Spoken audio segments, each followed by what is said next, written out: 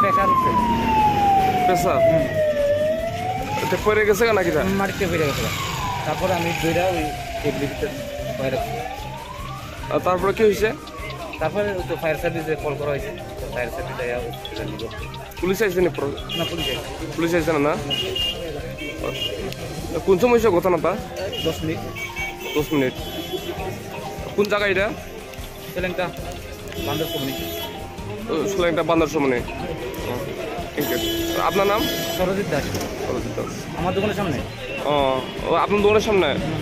তাহলে আমরা এখানে খুঁজছি বিস্কুটের কথা।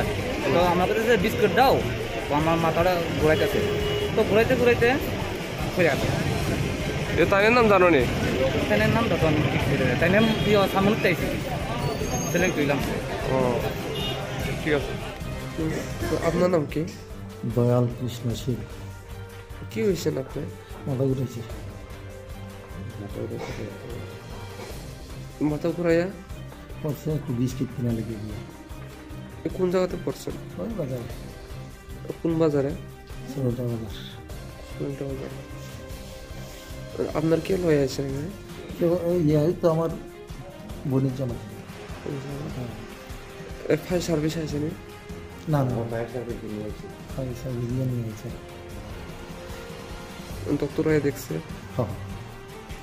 আপনার বাড়ি সামনে। সামনে।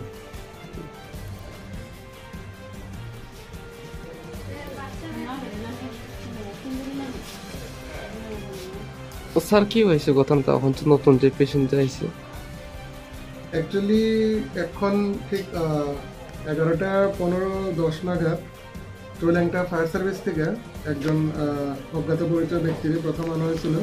আমাদের সাব ডিভিশনাল হসপিটালে উনি অ্যাকচুয়ালি হঠাৎ করে চলেংটা বাজারে অসুস্থ হয়ে পড়েন। তো আনা হয়। তারপর আমরা বিভিন্ন ধরনের ট্রিটমেন্ট দেওয়ার পর এবং ওনার প্রেশার সুগার এগুলি চেক করে আমরা ওষুধ দেওয়ার পর পেশেন্ট থেকে জানতে পারলাম যে পেশেন্টের প্রেশারের দোষ ছিল এবং পেশেন্ট সকালে প্রেশারের মেডিসিন খায়নি। এবং এই জন্যই হয়তো বা পেশেন্টের একটা মাইনর স্ট্রোকের মতো হয়েছে। তাই আমরা এখন ইমার্জেন্সিতে ট্রিটমেন্ট দিয়ে পেশেন্টকে প্রথম স্টেবল করলাম। এখন আমরা পেশেন্টকে অ্যাডভাইস করেছি যাতে এনসিসিটি ব্রেইন এবং ওনার যে বাকি ইনভেস্টিগেশনগুলো যেগুলি আছে এগুলি করার জন্য। পেশেন্ট এখন সুস্থ আছে? এখন পেশেন্ট সুস্থ। আছে এই পেশেন্টের নাম কি জানেন পেশেন্টের নাম হচ্ছে দয়াল সিংহ। তাই নাম বাড়ি কোন জায়গা তাই ছামনু ছামনুতে বাড়ি। একান্ন বছর বয়স। এখন বছর বয়স। কোন হসপিটাল এটা? এটা হচ্ছে Chailengta sub divisional hospital sir আপনার নাম? ডক্টর দেববীর দাস ঠিক আছে